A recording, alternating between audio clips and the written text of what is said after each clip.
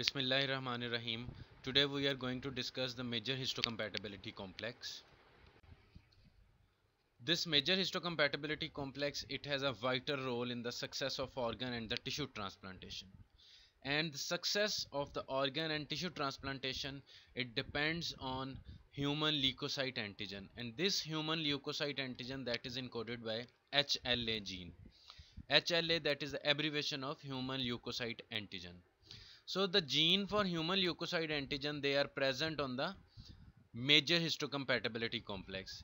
And they are located on chromosome number 6 so these are the various important points about the uh, MCQs three important genes are present mm, which encode for class 1 major histocompatibility complex. And those genes are HLA-A, HLA-B and HLA-C while uh, human leukocyte antigen D or HLA-D it determines the class 2 or it encodes the class 2 major histocompatibility protein.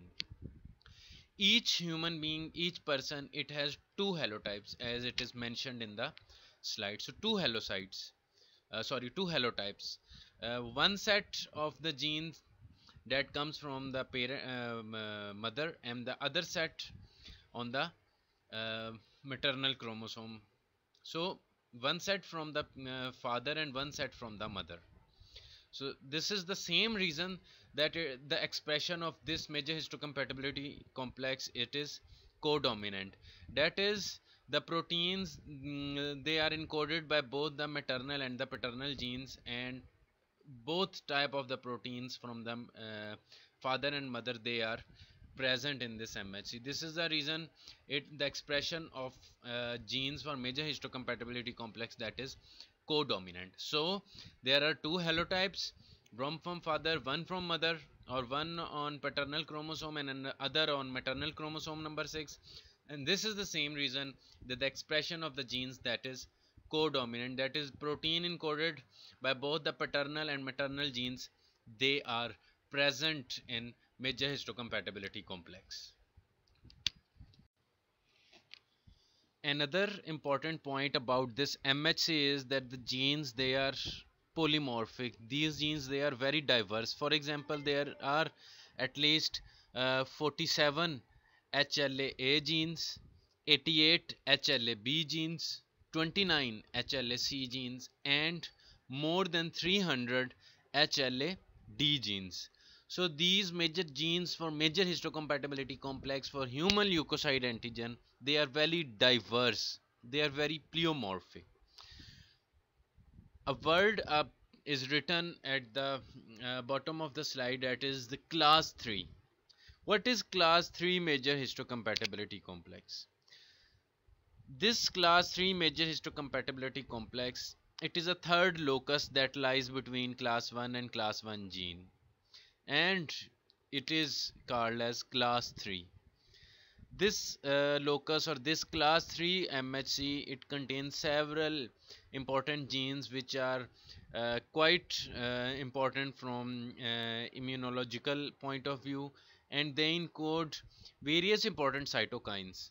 Uh, one of the most important cytokine that these genes they encode that is the tumor necrosis factor apart from tumor necrosis factor they also encode uh, C2 and C4 these uh, C2 and C4 they are important proteins uh, which take part in the complement cascade. So this is the class 3 uh, uh, uh, jet that is also present or that is also called as called to be present in between the class 1 and class 2 uh, gene. So it is again uh, important uh, which cytokines they are encoded and which complement component they are encoded by this class 3 gene. So MHC uh, class 1 class 1 MHC proteins they are glycoprotein in nature.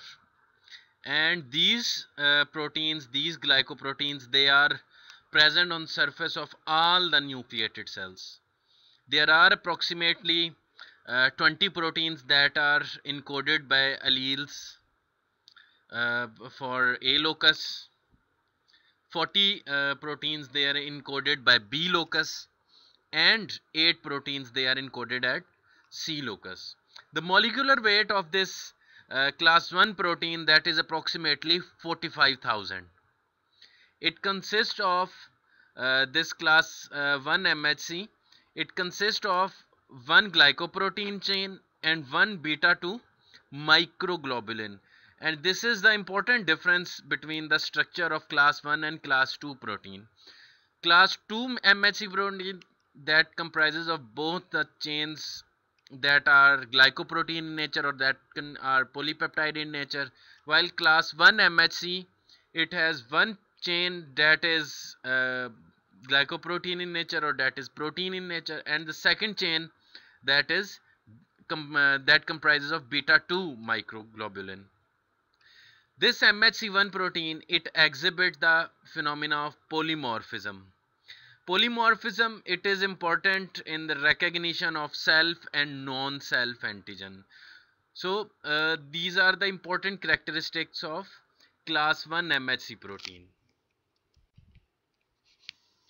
when we talk about the class 2 MHC protein they are found on the surface of antigen presenting cells. Some of the important antigen presenting cells they are dendritic cells they are macrophages Langerhans cells Langerhans cells that are present in the skins and the B lymphocytes. So these are the important antigen presenting cells.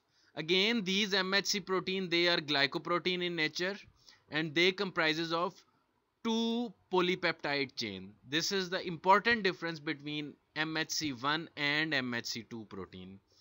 Again uh, these MHC type 2 proteins they they they are polymorphic uh, they are polymorphic in nature.